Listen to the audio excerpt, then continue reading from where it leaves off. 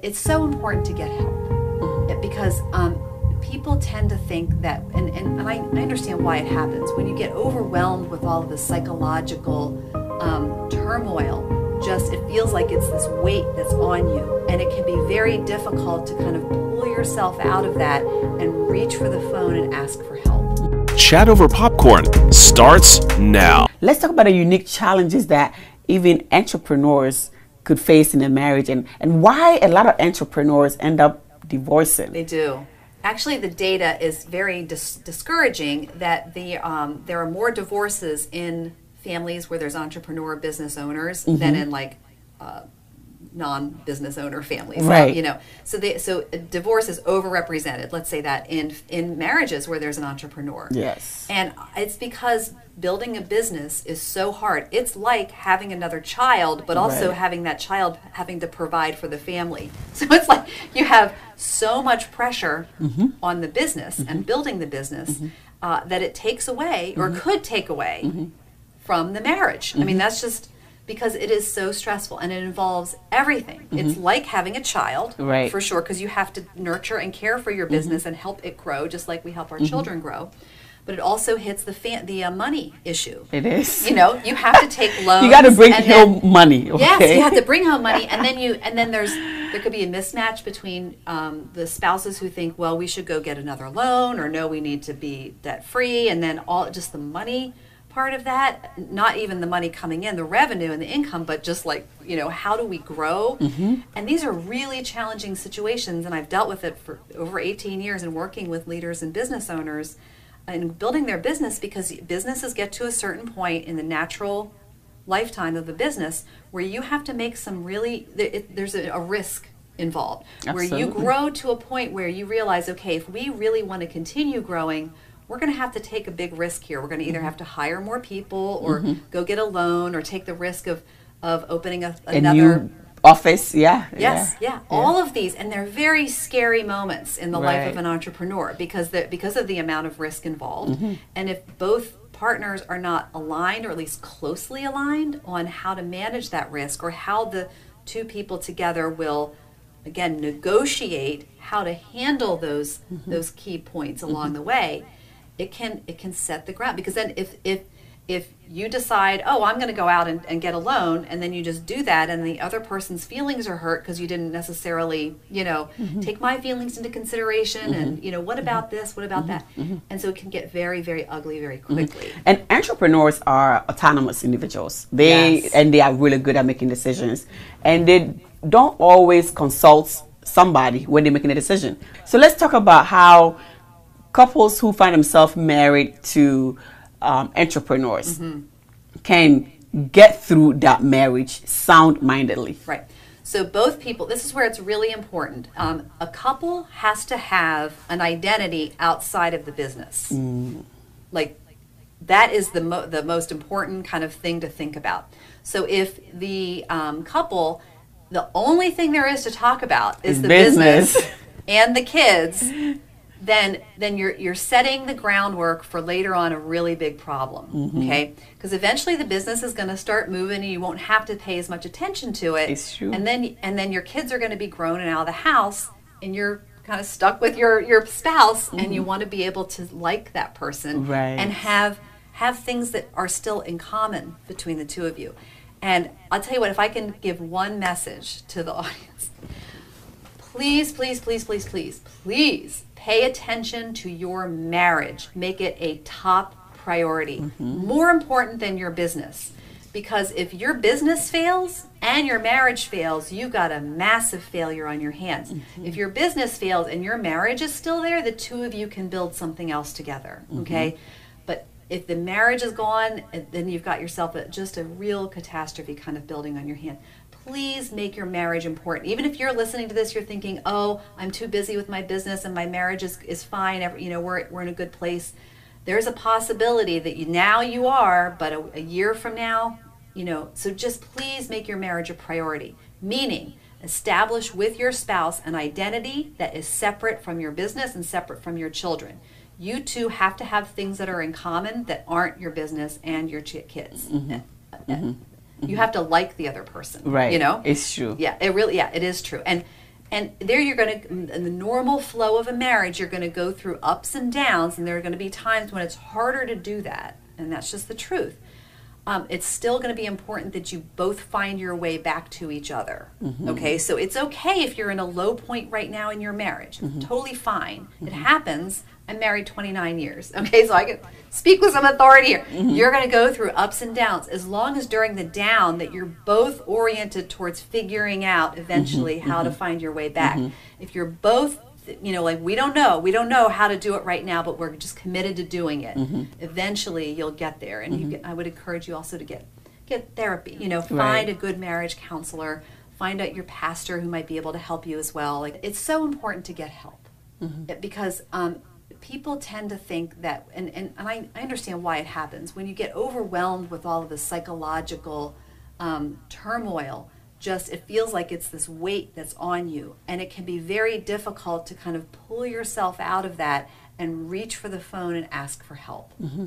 But that is so important that people do that mm-hmm. because it, if you go through this alone, it's just going to make it so much worse for everybody. Mm-hmm. If you try to keep things together in your own head and try to pretend to the world like everything's fine when it's not, eventually you're going to break down. Mm-hmm. And you are talking about after the divorce have happened. Even during, during, during, and yeah. after. I mean, at, at, any point, really. I mean, yeah. anytime you're under any kind of emotional distress, you should mm-hmm. reach out for help. Mm-hmm. Um, if we think that, if you think that it's only really affecting you and you, it's only in your own head, you're wrong. It's um, I always say that our wounds bleed on other people. Mm-hmm.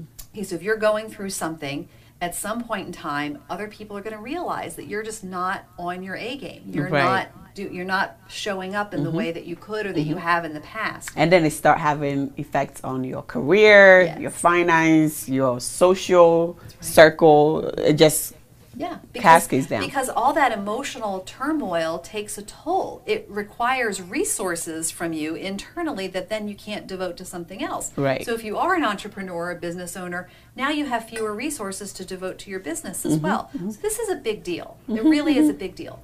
And it's very important that even, you know, if you're hearing my voice now and you're there and you're not reaching out for help, take this as a sign. It's time to pick up the phone and ask for help. Mm-hmm. So find a, a, qualified, licensed mental health professional in your area who can walk with you through this. Go to your church, and if your pastor's not available, find out who that pastor would refer you to. Perhaps your mm-hmm. church has um, a counseling ministry that mm-hmm. you can go to and just get some support. Mm-hmm. Um, no one, no one was meant to go through life alone. Right. And particularly challenging times. Mm-hmm. Mm-hmm. So you wrote this book, Be Still again available on Amazon under Anita Mirkasani, and her name would be in the video, so just so you can get a correct spelling. So, Dr. Anita, talk to us about how we can find practical strategies mm-hmm. to go through divorce. Yeah. Individuals who have gone through divorce, and if you have gone through divorce and you have your own special strategies that you use to cope through it, we want to hear from you. Leave a comment. You know, we are going to hear from Dr. Anita, but I also want to hear from you, from your personal experience with divorce and how you get through it, because your story really could help somebody else. So let's talk about be still, you know, the yeah. the practical solutions mm-hmm. that individuals who have gone through divorce can yeah. Cope. Um, the so be still. The title of the book comes from Psalm forty six ten, in which God tells His people, and if you read actually the all of Psalm forty six, you'll find out that it, it is about God speaking to His people who are going through a very very difficult time. He talks about the mountains are crumbling into the sea, and the and the, the cities are the, the kingdoms are, are on fire. And during all of this tumultuous time, God tells His people, "Be still." And know that I am God. I will be exalted among the nations, I will be exalted in the earth.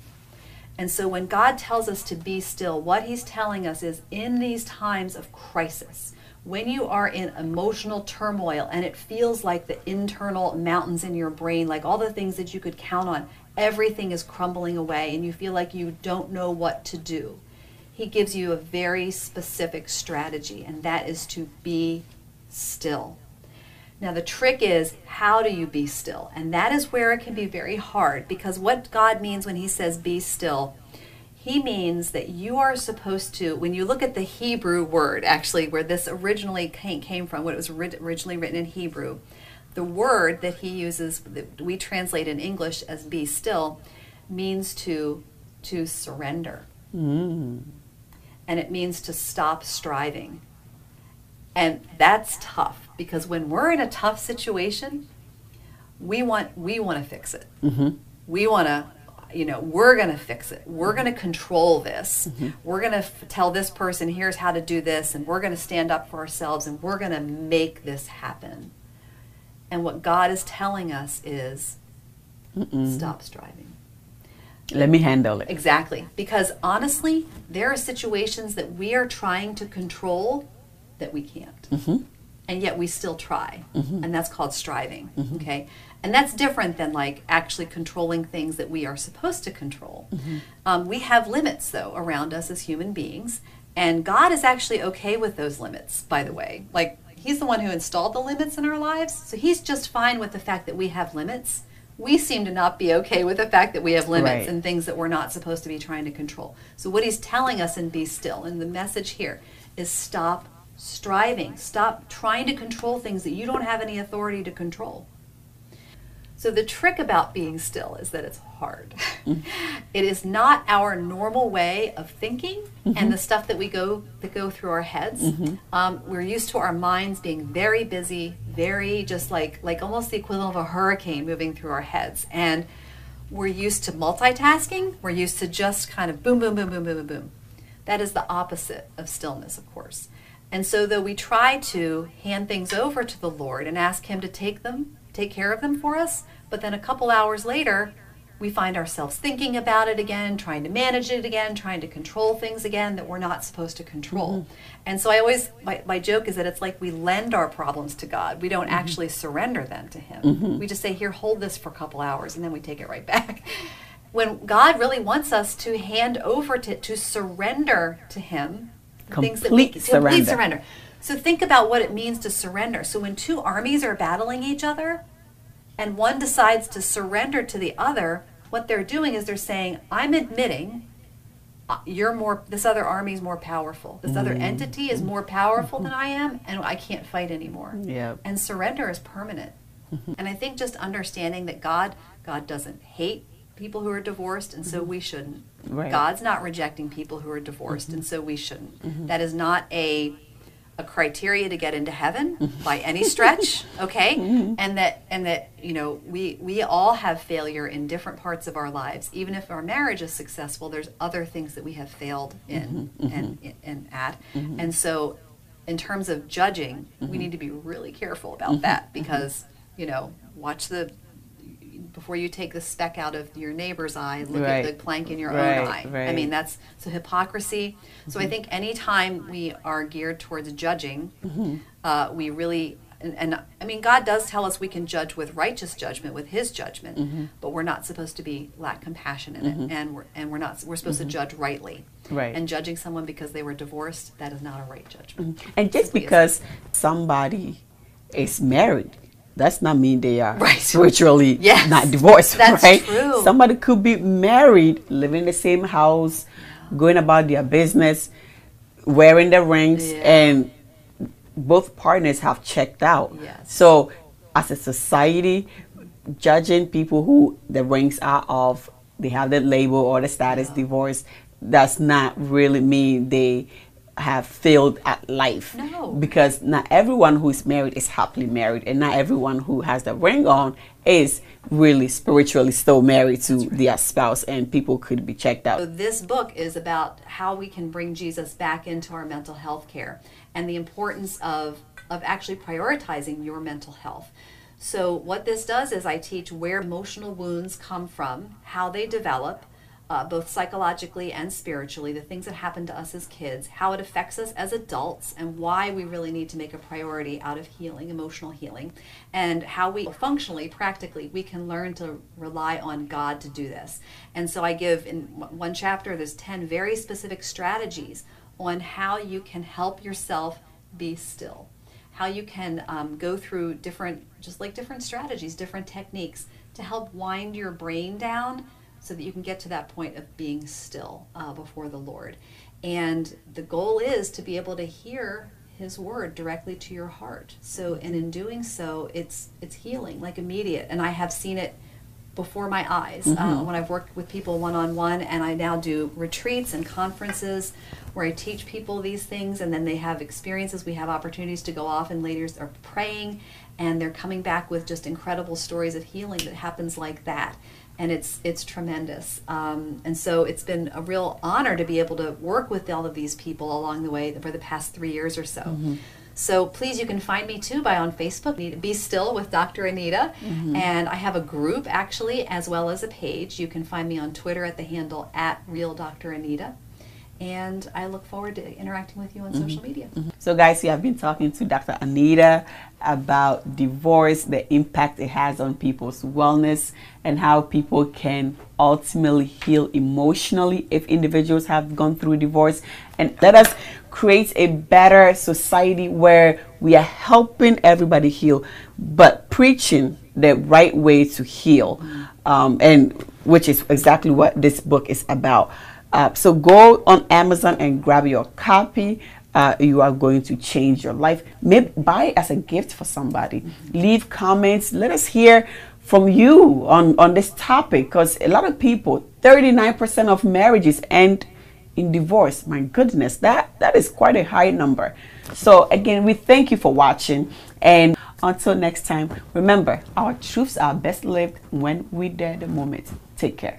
Thank you for watching this episode. To continue with the conversation, subscribe to our YouTube channel and click the bell or notification button to be notified every time new videos get uploaded. Also, click thumbs up to like the video and follow our Instagram and Facebook pages to catch up on all the conversations.